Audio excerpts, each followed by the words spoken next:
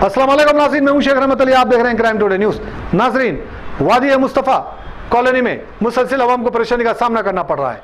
यहाँ पर डेनिश का पानी बहने की वजह से लोग को परेशानी हो रही है, राहगीरों को भी परेशानी हो रही है, यहाँ पर रहने वालों को भी परेशानी हो रही है।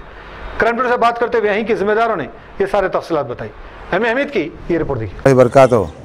साहब मैं मुस्तफ़ा से बात कर रहा हूँ। ये मेरा दुकान है।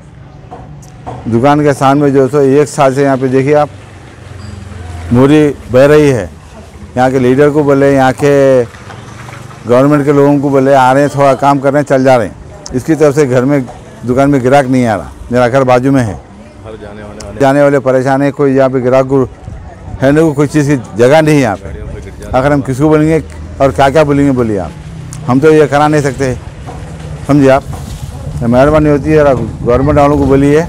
या बल्दिया वालों को बोलिए जल्द से जल्द इसका काम कराइए ताकि लोगों को बहुत तकलीफ़ हो रही है यहाँ पे। इससे ऐसा हो जाए कि बजा हो जाएँगे खाली पीली के मासूम बच्चे बीमार पड़ जाएँगे। इसके जिम्मेदार कौन है आखिर? अगर हम बोलना तो किसको बोलना? मेहरबानी होती है आपकी। जलपल्ली म्यूनसिपल में शिकायत कर थे जलपली म्यूनसिपल में शिकायत करे कहीं हो जाके बोले आता हूँ आता हूँ बोल के बोले थोड़ा काम करे गए परसों चार फीट का काम नहीं करे फिर यहाँ से चले गए। सब जगह तो परेशान है यहाँ से माता। देखिए आप रोड का आराम क्या है देखिए आप पे? रोडों को जो तो गले पड़े हुए हैं। हाँ मेहरबानी होती है, गवर्नमेंट से हमारी। शुक्रिया।